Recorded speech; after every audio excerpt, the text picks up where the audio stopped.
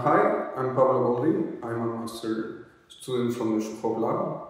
My previous experience, I'm an architect, I come from Mexico. I also used to write, and I'm still writing articles for different magazines and newspapers. I believe as an architect, for me it was a great opportunity to be able to study in an economy school, to have access to technology classes, to economics, to data-driven topics, which are not usually open to, to architects as a profession. As an architect and as a writer, I believe it will be crucial for me to implement this in Mexico.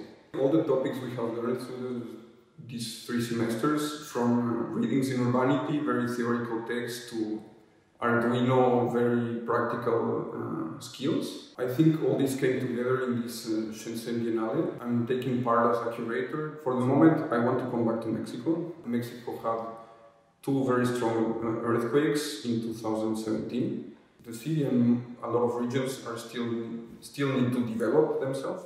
I think it's an amazing city. I had a professor of architecture theory in second year of my bachelor who always told us that it's important to learn in the classroom but also outside of it.